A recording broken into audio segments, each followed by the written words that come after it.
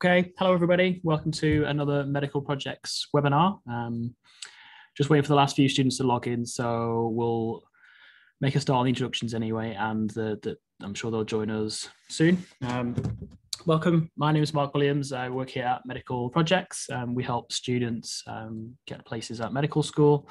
Um, we do that through a lot of things, through a lot of kind of online courses that we run, lots of free articles, blogs, videos, um, just helping provide all the kind of support that, that students need when they're applying to, to medical school because it's, it's quite a difficult and challenging process. And one of the things that one of those challenging processes um, is is taking the UCAT.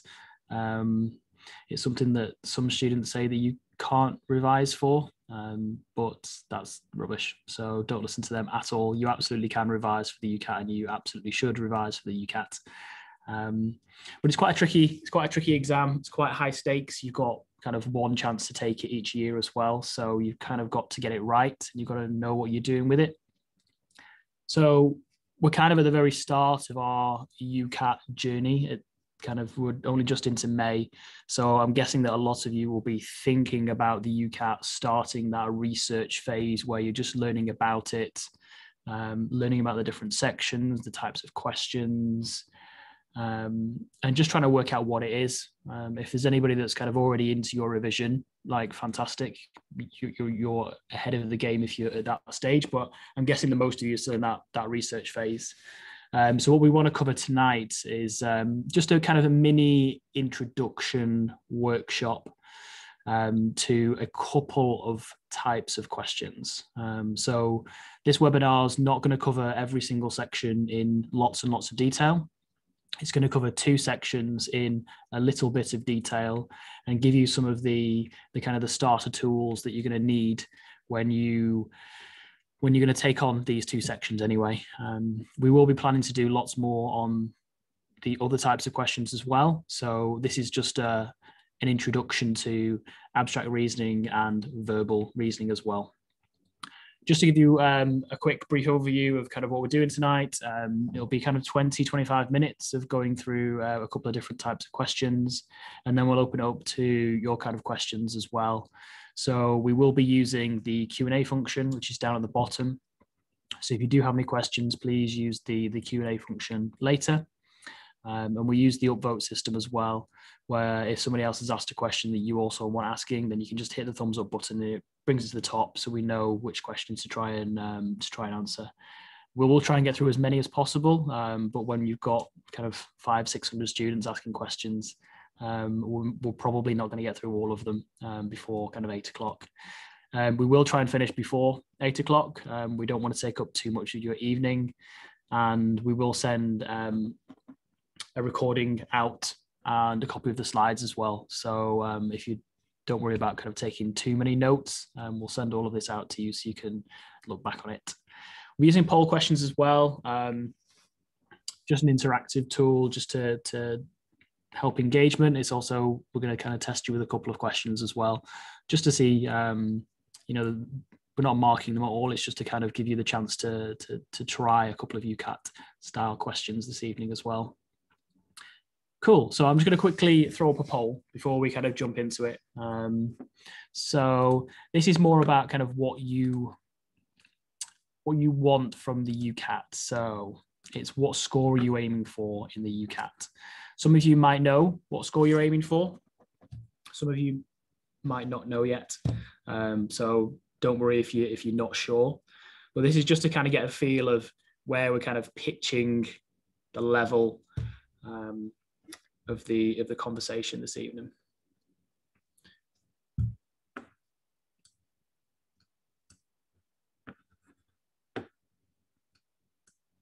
So we'll just give that another couple of seconds whilst everybody votes.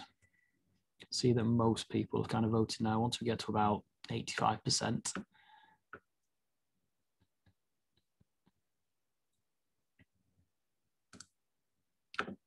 Cool. So I'm just going to share the results. Um, obviously, the scores that we put here are the the averaged scores um, of the four that are marked in this way. Um, so this is just a, a, general overall kind of score. It's not the the, the, the total score. Um, so yeah, some ambitious UCAT scorers. A lot of people want to score 700 plus, 750 plus, 800 plus. Um, some really, really strong scores. If, if, if you're anything above 700, you're you're in a, really, really good. Um, that's a really good UCAT score. 750 plus, you're you're smashing it. So if you're getting 800 plus, um, you're you're within the top, kind of probably five percent, maybe less, three percent in the UK out of the 25,000 people that take it every year. So some super ambitious people. Um, cool. Right, so let's jump into it. This will be a really good time to bring Minnie on as well. Hey, Minnie. Hello. How are you? I'm good, thank you. Good, good. How um how's your week been so far? Yeah, it's been good. Been been quiet with uh, COVID getting in the way of everything, but been nice to get some studying in in between clinics and everything. So yeah, it's been all right. so just to give people um, a super brief overview of kind of um, of who you are, what you're doing at the moment, um, because there'll be some people watching this that have, have never watched one of our webinars before. Do you want to just give like a super brief overview of kind of who you are, where you're at? Yeah, so so my name's Minnie. Um, I'm currently at um, University of Manchester. Um, I'm in my clinical years at the moment, so I spent three years doing preclinical at St Andrews on that sort of route, and then um, once I finished that, I'm came to Manchester. So I've done one clinical year here, and on my second one, so just on trauma and orthopedics at the moment, and rheumatology, and enjoying it. So uh, yeah, that's where I'm at at the moment. So UCAT's a while ago for me. It was actually called the UKCAT when I did it. So, but uh, hopefully I'll give you some good tips tonight to to succeed. You have happy memories of the of the UCAT or UKCAT as it was called back then. Surprisingly happy actually. I was really dreading it because practice like it was tough for me. Um, I found it quite difficult, especially at the start, just getting used to the questions. But you know, I was pleased with how I did and got in in the end. So um, it's a tough exam, but I think if you prepare well, then there's you know no reason you can't get a really good score on it. So yeah, coming okay, to the webinar cool. is a great start. Yeah, and especially at this kind of time of year, early May, the definitely super prepared. So super, super good head start. Good head yeah, start. yeah, definitely. Cool. So we're going to be looking at two different sections. So obviously, the, the there's five sections in total on the the UCAT. Um, four of them are kind of scored in a in a kind of zero to nine hundred type banding, and then the others, the the SJT or the situational judgment tests, are you're banded kind of one to four. So we're going to be looking at the ones this evening that are probably seen as the most difficult, the most tricky. Um, mm the ones people struggle with the most, uh, and that's the abstract reasoning and the the verbal reasoning. Um, so which one which one do you want to start with? Go for abstract. I feel like that's a scary one. We'll get the scary one out of the way because it's actually I think it's easier than you think. Um, yeah. The verbal is just difficult, but so we'll save that one for the end when you're all when you're all in in your heads in the game. Okay, cool. All right, let's have a look at this then. Cool, let's go for it. So, just a quick overview of abstract reasoning and, and what it is basically. So, the UCAT definition for what it's you know assessing is it's assessing your uh, use of convergent and divergent thinking to infer relationships from information. So, it's a big jumble of words, really. Basically, it's just assessing your pattern recognition. Can you think outside of the box and and pick up stuff from a very limited amount of information? Um, so you've got 55 questions and 13 minutes to answer it, plus one minute of reading instructions. So it's not a lot of time to, to answer these questions. So it's about practicing a lot. I think it's the one that you want to practice the most, especially at the start, just to get used to the questions and pick up different patterns. Because, you know, there's only a limited amount of, you know, patterns that they can actually, you know, come up with really. So getting used to that is um, definitely one thing to go for. So here's like an example one down here. Uh, you've got two sets of, of patterns and then like a test shape and you have to basically um, say which where which one it fits in with. So with this one that um, you can say that it fits in um, with set A because um, just to explain it that you see every time there's a black circle um, the next shape rotates 90 degrees clockwise on this side and 90 degrees anti-clockwise on this side. And then you see with the test shape, it's rotating 90 degrees clockwise.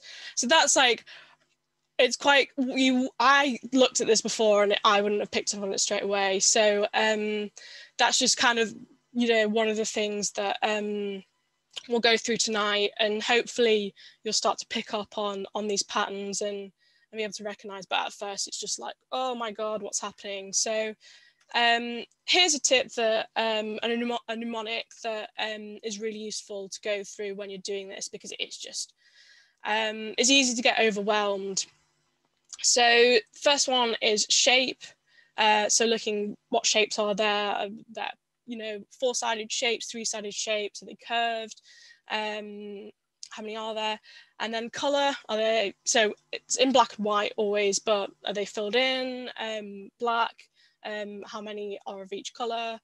Um, arrangement as well, so how are they arranged in a box or um, in space? Is there always a circle in the corner? Is there always a triangle next to a square?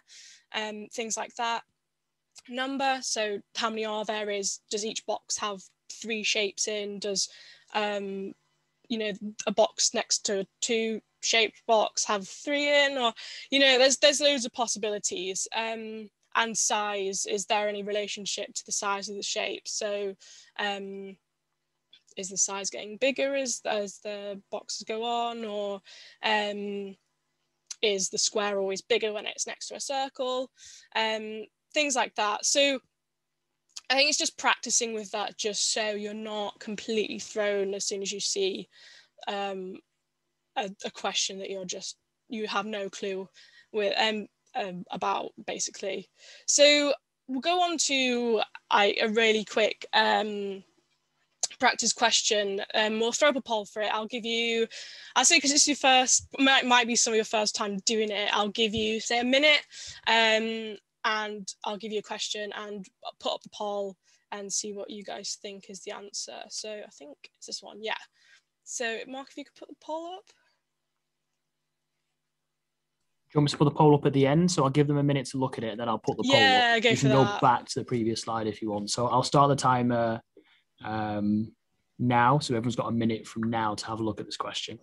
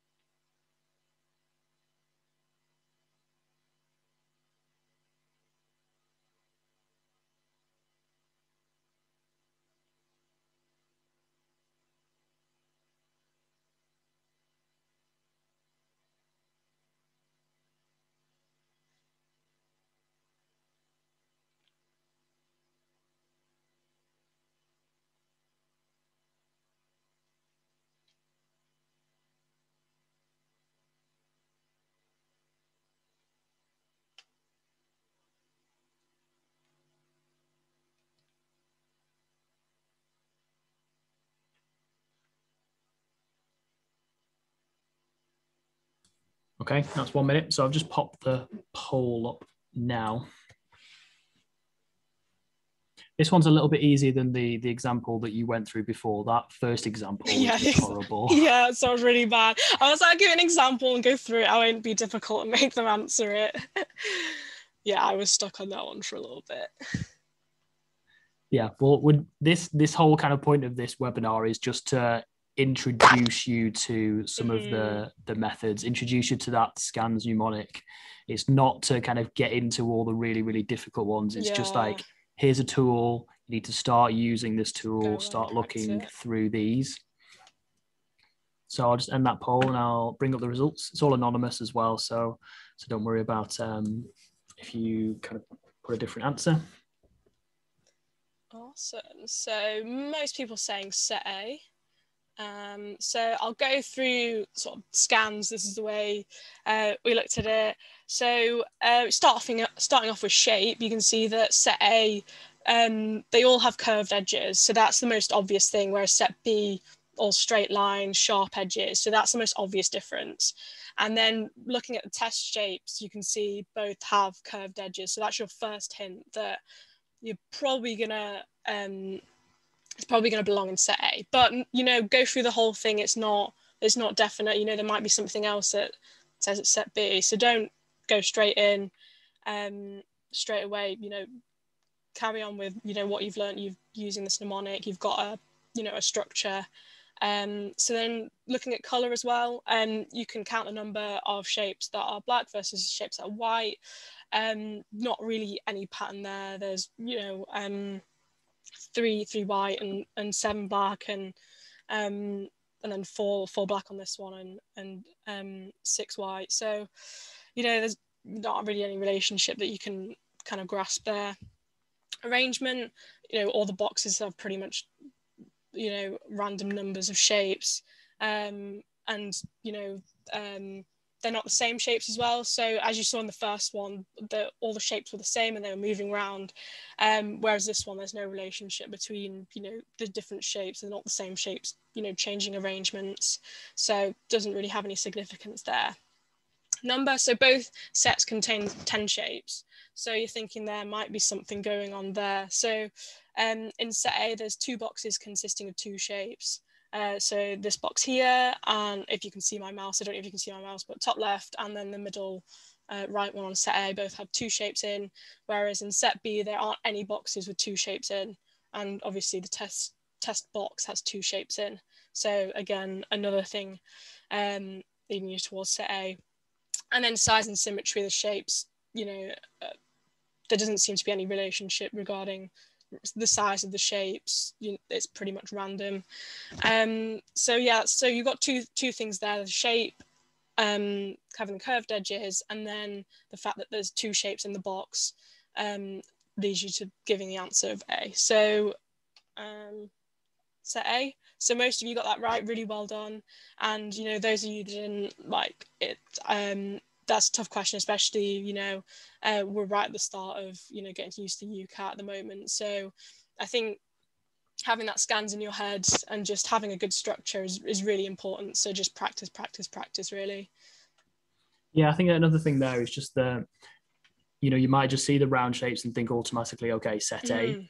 And sometimes they can throw that kind of question in there, but then there's something else that changes it. Exactly. So yeah you have to kind of go through that entire process, that entire scans method to make sure that it's not B sometimes because mm-hmm. sometimes they can be sneaky and just be like, oh, it looks like it should belong there. Yeah. But then you've got something to do with symmetry mm-hmm. that's, that's, kind of at the end of your your breakdown and you'll get it wrong. Definitely. So it looks looks simple, but go through the method and make sure it is the correct answer and don't just kind of guess too quickly. Mm-hmm. Especially when you're just getting started as well. That pattern recognition builds. And when you come to, to take your UCAT at the end, you'll be so fast at those and you'll, you'll be doing them in, in seconds. Um, and you, you'll find that you probably have a bit of time left over in that section. Um, even though there's only what 11 13 minutes or something for that yeah, section really quick but yeah it's one of the easiest sections it looks really difficult but becomes one of the easiest sections with practice. Definitely, that was that was Whereas what happened to me. This section now looks the easiest because it's just reading, but actually it's Not. it's the worst section by miles. It's the hardest section for for most people. Mm-hmm. Yeah, I definitely agree with that. So so yeah, verbal reasoning. They say on the website assesses your ability to crit- critically evaluate information presented in a written form. So it's basically like comprehension test that you would have done for your SATs, really. Um, you've got a big chunk of information and you've got questions regarding what you've sort of understood or um, information you've gained from the text. So you've got 11 passages um, and four questions on each and 44 minutes, uh, 44 questions, sorry, in total, obviously four times 11 um, and then 21 minutes to answer those questions so it's, it's it's pretty quick so you've got to read, well, kind of, I'll go on to how you probably um, should go about it. But um, yeah, there's a lot to do in that time. I think it's probably the most time pressured section. At least it was for me. I ended up at the end just clicking um, because I think the time management is really really difficult. So yeah, um, lowest scoring section on the UCAT. Um, yeah, it's it was my lowest scoring section despite it being the highest in practice. I think it's just nerves as well at the start of the exam. Um, it's it's scary times. Um, so I think we've got a poll question for the next bit. So um, I'll maybe give, hmm, how long do you think? Like 30, 40 seconds a question? Um, yeah, I think that's, I, I think that's generous. Yeah, I think, think 40, if, if it's the first time anybody's seen one of these and it's the first time they've read that kind of volume of text mm. and to answer. Yeah, let's go with 40 seconds. So okay. what do you want to do? Do you want to just put it straight up and then I launch the poll after 40 seconds? Do you want me to do that? Or if you put it put the poll up straight away, or is that really harsh? I think if you put the poll up straight away, it covers the, the question. Does it? Yeah. Okay. And then and okay, yeah, that's fine. Okay. If you go so, to the next slide, I'll start the timer and then I'll put the poll up. And then oh, I didn't backwards. even go through this as well. Oh, this has moved. so this will probably be. I'll go through this quickly. So, um, and then you can come up with how we're gonna. okay. Um, right. So, um, so the first like common technique is is is skim reading. So there's a lot of text to read um, before answering the question. So sometimes you, you, you don't want to read the whole text properly. Like if you're reading a book, don't don't do that straight away. There's a lot that you can gain from literally just skim reading. So just blasting across the lines, picking up key important words that you think you know might come up. Um, and you know, it's, you can get quick at skim reading as well. I'd say literally just you know pull up a magazine or newspaper article and just get good at reading it quickly and seeing what information you can pick up and then pinpointing keyword. So um, does the question ask about a certain thing, let's say um, animal rights? Um, can you find that in the text quickly, just zoom through and, and can you find that and then look at what's around it and what you can infer from that little bit of text. And then worst case scenario is you just you read the text because you have no other idea but again that's very time consuming. So it's like a risk reward. You just, you know, read it properly and know you're getting the question right, or do you just take a chance and, you know, pop an answer in and save yourself time for the next question? So, but that's about practice and experience. So, um, yeah, I'd say top tip is get good at skim reading and just picking up as much as you can without actually properly reading it. Um, so I think the next slide is the text. So Okay, well, if you go to the next slide, I'll start the timer, and then okay. when I say stop, go back a slide, and then I'll put the poll up, so it takes okay. the, the the text off the screen. Okay. Yeah. Go. Oh, I didn't realize the question was okay.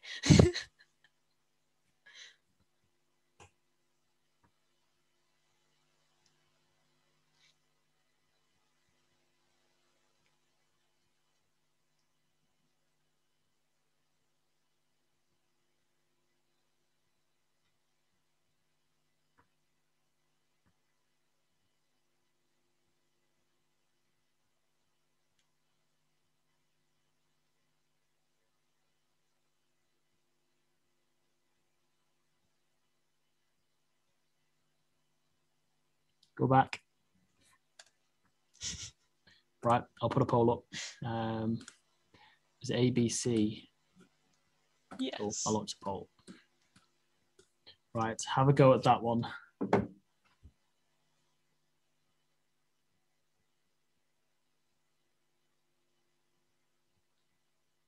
Some good scores on this question. We're starting nice and easy, to be fair. The next two are worse. Yeah. I'm just happy no one's put D. oh, one person has gone.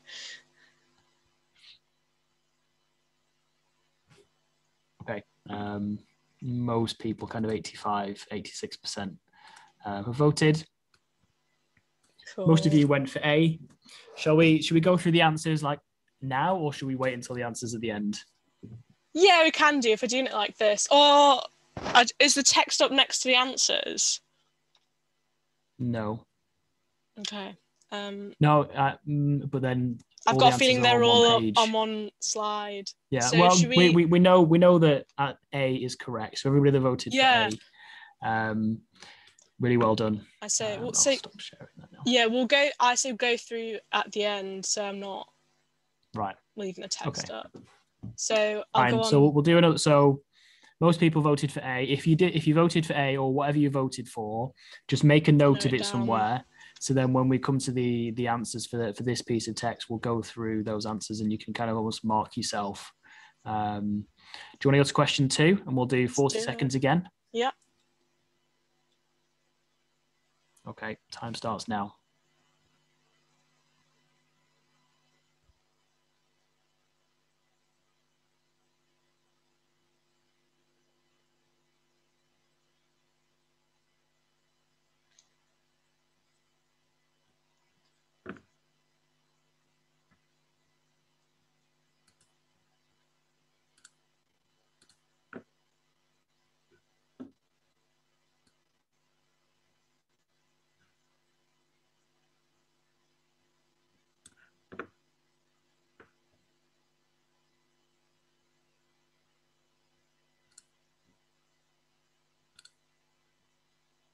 Okay. Polls up again. Oh, I can't move the slides. Okay. Be more of a mix with this one. Mm, Get a bit more difficult.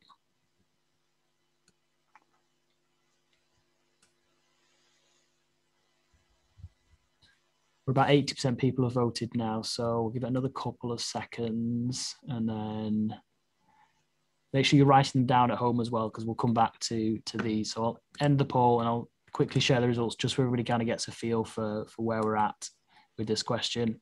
So A has most, but B is only just behind. C has got about 19% and D has got 8%. Okay. So mm. we've had most people went for A on the first one, A and B mainly on the second one. Okay. Let's see um, about the third one. Third one. Okay. Okay. Starting now.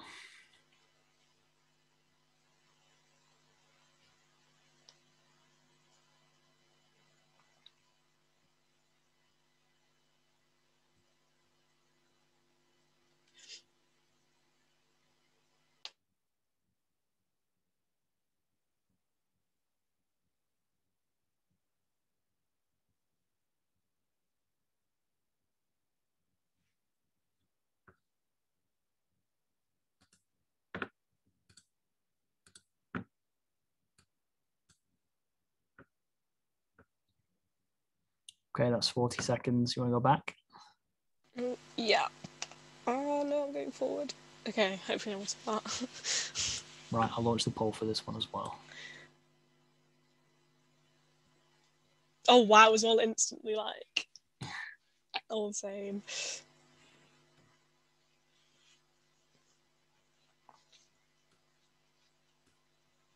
So again, this is even closer. Oh my A god. with 31%, B with 27%, C with 22%, D with 19%. So really, really mixed. But these are kind of the so what we've done with these three kind of questions is yes, you've got a passage of text, you've got three questions. First question is a relatively easy one where you can use one of these techniques to to almost skim read and pick things out. But then the second question and third question require a bit more knowledge of the text and a bit more reading of the question as well. So we've tried to give you like Mm. three stages of difficulty in these questions. Um, and then you can actually see that in the, the spread of the answers as well. So we'll go through each of these questions and we'll talk through why it's correct. Um, so I'll end that poll and I'll share the results just so everyone can kind of see. Wow, yeah, really close, on that that third one. Yeah. Cool. Should we Tough talk through? questions. Yeah, yeah, really tough questions. Okay, so question one was A because it was true. Um, so that was basically like looking at the keywords. You just look out for the name that was given in the question, Margaret Hodge, or tax avoidance, and then just zone in straight on that. And um, if I can go back, oh no. Um, and it says has long campaigned. So I mean, not exactly word for word, but yeah, that was um just it was basically in a text. Um, so that's just about getting quicker at picking out keywords. Um, so question two, the right answer was B. Um, so Luxembourg unit uh, handles sales only from European countries. So um, with A, um, which was um, it's handled by exactly 5,262 employees. So basically, with that, um, it doesn't say that those countries were specifically only um, served by the uh, Luxembourg unit. It, they could be served by other units as well. So it's not just that number of staff which are at the Luxembourg unit which are working for those other countries. And the same for C as well. Um, Amazon sales in the UK is handled exclusively by the Luxembourg unit. So this is quite difficult because uh, it is served by a Luxembourg unit, but it never specifically in the text says that it's not served by any other um, unit. Um, and uh, the Luxembourg unit made an income of 8.4 uh, million uh, euros, which um, is wrong because it was per employee rather than for the whole unit. Um, and B is obviously right because um, I say obviously it's not obvious, but um, so it basically gives you a definitive list there of who it serves, and that's it. So the UK, France, Germany, Italy, Netherlands, Poland, uh, Spain, Sweden. That that's it. That's um, who the Luxembourg unit serves. So that's why B is correct. Um, so question three, uh, the answer was A. Um, so with that, so B uh, we can we know is is correct because if you go to um, the the last bit of the passage, we can say that uh, the pandemic um, while our high streets have struggled. Um, so that's we can get that from the text instantly. Um, Amazon made a loss of over 1 billion. You can find that in, in the first passage. So made a loss of 1.2 billion. So again, you can look out for 1 billion, or if you look out for um, the euro symbol in the text and just sort of scan through and find that, um, then you're sort of instantly there and just look across that sentence and see that. And then Amazon's revenue has been high during the pandemic. So Amazon's revenue soared again in the in the last paragraph. So just again, keyword look out for revenue. Um, quite hard spot, but I think by the third question, you've sort of got not used to the text, but have looked at it enough that it will pop out to you a bit more. And then why A is in why we cannot infer A is because it only mentions one MP um, who is from Labour. Um, but we can't infer from the text that the whole party is is against tax avoidance. But I mean, um, we do know that in real life the Labour Party are against tax avoidance, but this is a thing where you have to draw a line in verbal reasoning between your own knowledge and what's in the text. That you have to specifically use what's in the text. You can't, you know, um, yeah, be using your own your own um, sort of background knowledge on on anything to answer the question because you know you you'll be you know putting in answers that you know that aren't written there and you know aren't sending the text. So, so just be careful with that. It's just like a the warning just literally only use what's in the text. And then basically the same point again is that um, you only need to know what's in the text. So unit I, I don't really know what a unit the definition is but um and like in terms of just the the tax credits and and um, profits and stuff. You don't actually need to know about what all that means. Um, the questions will be designed so that you don't actually have to understand per se the whole text. Just being able to understand the key points and comprehend that and answer the question. So um, it can throw you off if you don't know what it's talking about, but you will be able to answer the question no matter how much it will try and throw you with big words and language that you haven't seen before.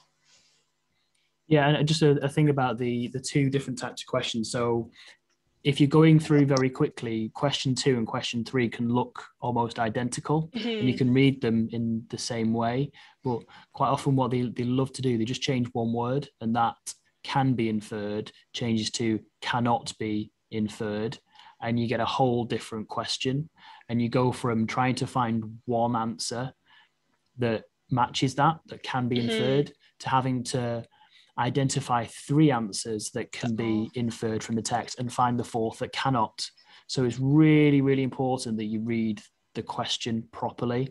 And Mhm. under the time pressure, it's fine when we're doing a webinar like this and you write, okay, we've got 40 seconds to read the question. But when you're in that time pressure, under exam conditions, they're the mistakes that we see loads of students make. And it's the different, like they know the answers if they just Mhm. read the question correctly. Um, so, you know, it's just, we, we throw it in there in this webinar just to show you. We're not going to go through everything in absolute detail with you, but we've tried to show you a scans method for the abstract reasoning, which will, um, which you'll have to learn and just get used to. You'll, you'll spend time going through that. And then we're just trying to point out a couple of key things with the verbal reasoning. Um, so just being able to scan really quickly for things, making sure that you read the question is really important. Um, making sure that you don't use your external knowledge from things. And if you can take those four things from this kind of last half an hour, then that's a really good start from for your UCAT stuff. Um, you know, we could cover this. It we can take days to cover these things, um, and we Mhm. do on our, our courses. But if you can take those four things from tonight's webinar, then that's that's a really really good start. hmm And it's just about practice, practice, practice. Like you've got Yeah. a solid structure now, so just put it to use and just do loads of questions, as many questions as you can. Yeah, definitely, definitely. Ooh, so- Um, yeah, well, we're going to jump into some questions. Um, before we jump into some questions, I just want to let you know that we've still got some spaces on our GP Live course this weekend.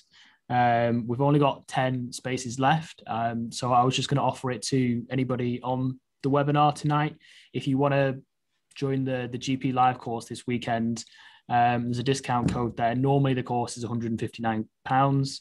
Um, but if you use that code um, this evening, it's discounted to, to less than 100 left to 99 pounds. Um, we've got 10 spaces. We'd like to fill those spaces up with students from this webinar. So use that code um, and hopefully we'll see some of you on the, the GP Live course this weekend as well. Um, cool. Shall we ask some questions? Use Let's the Q&A for the last kind of like it. 10, 15 minutes. Sounds good. Right. Okay. I'm just going to go to the Q and A um, and see what questions we've got in here. Do-do. So, are there any free UCAT practice questions online? Um, there's loads, absolutely loads. Um, just Google free UCAT question bank, and you'll probably find about 20. Mhm. Um, a really good one that um, I've used in the past is called Passmedicine. They're, they're a pretty decent one. Um, did you use Passmedicine? I didn't, but I do now for my exams. Okay. Um, and like everyone uses Passmedicine. Like, it's just like it's a massive thing in medical school. So Yeah. um, that is great, and it does explanations and things. So So yeah, Google, but there's one recommendation for that one. Um, and at the UCAT website, I found loads there, and it's quite nice as well because um, it's sort of on the type of program. Like it's the same setup as they use on the computers on the day. So it's quite nice to getting to get used to how it actually looks on the screen. Um Yeah.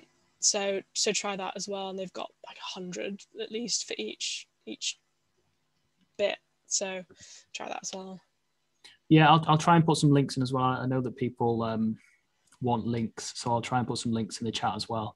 Uh, this one from Hannah: Are you expected to get through all the questions in the time given? depends how fast you get i mean i didn't i remember especially the verbal reasoning that why it got to the last minute and um i was running out of time so i don't think it's i don't think most people get through the questions um but i think that's fine. I think as long as you're really confident um in your skills and the revision that you've done um, and that like the questions you have done you you know have done your best in then i think that it's fine. I think it's just time management practice at the end of the day um, to get as good as possible. But i think on the day like if you have to guess a couple then absolutely fine. Yeah i think so time management is one of the things that we cover so we have two courses when we talk about when we talk about our courses, we have our crash course, which covers all the basics, um, and then we have the masterclass, um, which is all about getting the the really kind of high UCAT scores. And time management is a big chunk of the masterclass type um, course, um, and it's because it's really difficult to do, mm-hmm. and it mm-hmm. takes a lot of practice and a lot of preparation and a lot of discipline to get right. So even if you're running out of time, when you get to like the masterclass type level, you know that you're running out of time and you know which questions to guess on as well. So you can actually start to minimize or minimize the questions that you're not going to answer. Or when you get very clever and very good at the UCAT, you start to leave the questions you know are going to take the most time until the end. So you get through all the questions that you know you're going to get right, and then you have a bank of really difficult questions that you come back to when you like flag and review them. So you can get through them all if you're really good with your time management, but realistically, you're going to miss some of them and it's missing the right ones. But that's like a an advanced technique that we cover. Level, yeah. Yeah, it's it's next level stuff that. Um, what is the best way to approach the verbal reasoning questions without spending too much time on one question? just I think just practice that that skim reading. I think again it's just getting quick and just being able to just be able to pick out the right keywords as well. Um, yeah, I think it, it is difficult though. I think it, it again, it's just practice, but um, knowing when to skip as well mm, is something that we talk about. Is if you if you get bogged down with something, flag it, move on. Just because you yeah. know you know you're going to take too much time so so don't waste too much time. And you yeah use the flag system it's really good so you know what to go back to at the end so you're not you know flicking through the questions trying to trying to see which ones you've you've guessed on. Um, really popular question. Um, when is it best to start revising for the ucat well you're here now so you've already started so well done um, honestly your, when when did i start I don't think I started super duper. I definitely didn't start this early. I think, I think I must have given myself at least, I think maybe six weeks. I gave myself, or six to eight weeks or something. Um, but I just did a little bit every day. I just did, you know, like half an hour, an hour, and I got up. So I don't think. I mean, some of you that if you're going for 800 plus, then like I go for it um, and, and start now. But I don't think yeah, don't don't go ham and spend all your time doing it from today. Uh, you don't need to. Um, just give yourself just give yourself enough time. Like, yeah, I don't know how. A couple of months. I think a couple of months, months is, yeah. is realistic. Um, starting now, everybody's already here, so that's mm. a really mm. good step. So I'd, I'd class as this has already started. Just keep doing a little bit for the next few weeks. Mm-hmm. Keep learning, um, and then when you get to May, June, slash yeah. July, then like go at it. Mm-hmm. Uh, is the 1250 UCAT questions book helpful? Yeah, no, it is. Well, it was back in my day. It was only 600 and and it served me very well. So yeah, I'd recommend it. And it's quite nice having something on paper as well um, that you can make notes on and stuff. So um, yeah, it, it is good. And you know, it's just it's just nice to just have something to fly through questions on. So Go for um, it. Holly has asked, will we will there be another webinar for other sections of the exam? Yes, um, this is literally just the first one we've done on the mm. UCAT type questions. So we're going to do loads more. Um, when we get closer to UCAT time as well, we'll probably try and do one every week um, just to keep everybody's revision on track. So yes, we will be doing more. Um, Another Hannah has also asked, what is a good score for applying for top universities such as Cambridge? Well, Cambridge doesn't use the UCAT. Yeah. So um, if you're applying, make sure you check which entrance exam the universities you're applying to wants. Um, Cambridge does a different entrance exam. Um, but generally, if you're applying to one of the universities that's um, considered like a, a high UCAT score, if they then anything kind of above 700 is is what you're going to be needing for those. Mm. Um, But yeah, I think. Newcastle's pro- go on. Yeah, I was just going to say that I don't think UCAT score really like I don't it doesn't really correlate with you know like top. I suppose with medicine, the rankings doesn't really matter as much. But um, yeah, like Newcastle, as you're saying, is, is really high. I think it's just check check the website and our past webinar. We went through who uses it more, but I don't think it correlates with you know who's number one to three has the highest UCAT. You know, No, it doesn't. Yeah. So it, it's not. Cut it's off. not like oh, I, I want to apply to Cambridge, Imperial, Mm. Kings. Therefore, my UCAT score needs to be high. It doesn't Yeah. work like that. They use it in very different ways. Um, yeah. So check each university's website. We're also going to have um, a blog about this soon as well. So have a look at our blogs. Make sure you kind of subscribe to that, and we'll, we'll send you kind of the UCAT rankings for the universities as well, so you can see them all. Uh, duh, duh, duh. Is using Medify UCAT prep worth it? I don't think I use Medify, so I don't know if I'm qualified to to to say. But I think um like if, if you've had a look at the website and it looks like something that you get a lot out of and that looks worth it, then why not? You know, go for it. But I, I've not used it myself, so I'm not really sure to be honest. Yeah, I think there's there's a couple of different camps of people. There's people that are like, you know, you shouldn't pay for for online question banks. You shouldn't pay for for kind of courses and things. And then there's other people that are like, well, if if I need a little extra help, then I will. Um, and people fall across that spectrum. Some people will do absolutely great just by using all the free resources. Some people will pay for kind of an online question bank like Medify and various other people, and that'll work for them. And some people will want the the kind of the the types of things that we do, where it's like a full day course, and that works well for them. And it's just about making sure that you find which one works for you. Really, if you if you find that you're using all the free UCAT, all the all the free question banks, and you're not getting the scores you want, then maybe think about you know looking for a bit of extra help in whatever form that is. I agree. Um, how does the scoring work? Well, that's a complicated question. So it's like you get a point per question, and then it's then sort of just put in a calculator, and you basically get a score between is it 500 and 900, Yeah. and that's basically what you want to be looking at. Is that that's the score? I mean, raw points, you know, you don't really find out about as long as you know what your average score is. You know, is it 650? Is it 700? And what's your SJT band? That's that's the important bit. So you don't you don't really need to know. It's just you know point per question. No negative marking as well. So don't be afraid to to, to have a guess uh, if you're running out of time. And then yeah, just kind of know what your score is at the end. yeah, you, you'll you'll get two different variations of score. So you'll get something like 650, like we quoted before, or you'll get 2,900, something like that. Mhm. And the 2,900 is four sections of 500 to 900. And then the 650, they've just divided by four. So if you're seeing, oh, I'm getting a, or you, people are saying, oh, I'm getting 725 on my my tests, and other people Mm. saying, well, I'm getting 3,000.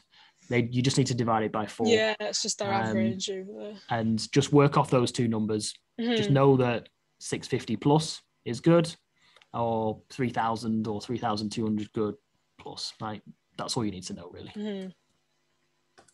um, we'll just take a couple more just because i'm conscious of the time this evening um, do, do, do. we kind of covered that one so when would you start recommending revising a couple of months before um, is there a certain skill needed for abstract reasoning or does it depend on practice Yeah, I don't think there's a certain skill. I think that I think it is really about practice. I mean, um, as you said before, it's I think it's the one that scares most people at the start um, because you've never done anything like it before. It's awful. Um, but you do you do get used to it, and the more you do it, the more you pick up patterns.